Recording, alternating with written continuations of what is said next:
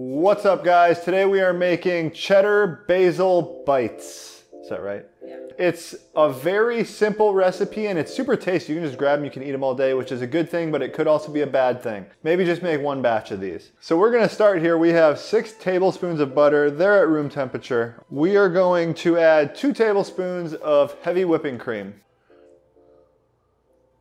Then you're just gonna mix that together for a minute. Now for this recipe, we're gonna be using cheddar cheese and Parmesan cheese. Uh, we're gonna go with one cup of cheddar cheese. Now we're gonna hit it with a quarter cup of Parmesan cheese. Now you're just gonna give this a light mix with a spatula. Now to bring this in to be more of a cracker, we are gonna add some coconut flour, a quarter cup. Now try to combine this as good as you can with a spatula. It's not gonna like fully come together, but you will get a nice little dough here eventually. Now we are gonna add some fresh basil. This really classes it up and just kicks up the flavor a lot. I would recommend getting some kind of fresh herbs in this. You can use dried, it won't be as good. But you know, parsley goes pretty good, oregano goes fine. If you were gonna use dried, I would probably use oregano. Then just kind of group it together and chop it up. You want it pretty small pieces, but you want to know you're tasting a little basil too. So just incorporate that as good as you can.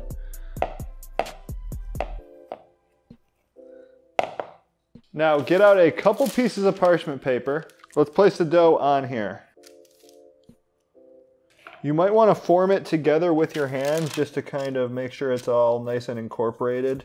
Plop it down there. Now let's roll it out. And we actually have a custom rolling pin now. It was sent to us by Foodie Turned Sleevie and she watched our channel and we actually met her in New York. She's a real nice lady. She has a YouTube channel. I'll link it below. Thanks so much. So we can now actually use a rolling pin to roll this out.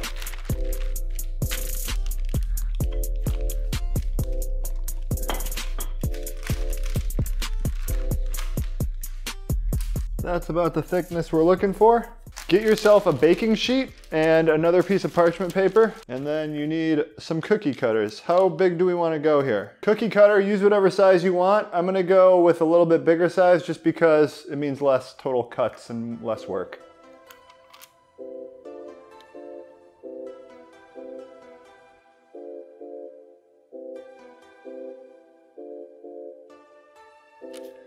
So you can start placing these um, onto the baking sheet. They are a little delicate, so just be gentle. If you're gentle with, with them, it's really no problem to get them on there.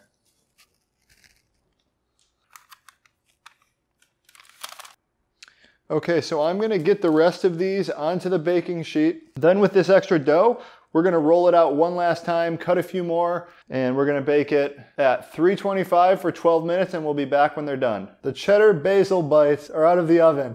And so we did have a little bit of problems with them this time. These are actually like a little bit flatter and not as crackery as we made the first time. And the only difference was these ones used finely shredded cheddar. The first time we used more of like a medium shredded cheddar. It's not as fine. I would say go with the, the not, the like more larger shredded cheddar, like not finely shredded.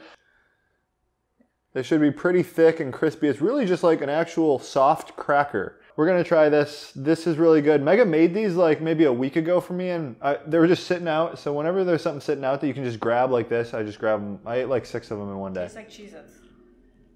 Yeah, it tastes a lot like Cheez-Its, but obviously not as crunchy. The basil, you get it just like right at the end, just really good. So just to recap, try getting the more thicker shredded, what is the term for that? Is it like thicker? Is like... Just not finely. Yeah, try getting the not finely shredded cheddar, get like the thicker shred.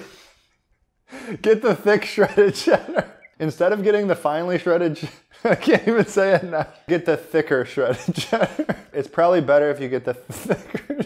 Woo! Definitely We would definitely recommend that you use a thicker shredded cheddar. Go with the thicker shredded cheddar. You're laughing too. Like we stored them on the counter for a day or two. I think you probably want to refrigerate them after, you know, if you're going to go any longer than that. But I mean, these are great for snacks, nice homemade quality snacks. Link to the actual recipe is in the description below. There's a blog post that has all the macros, all the ingredients, everything you need to make this.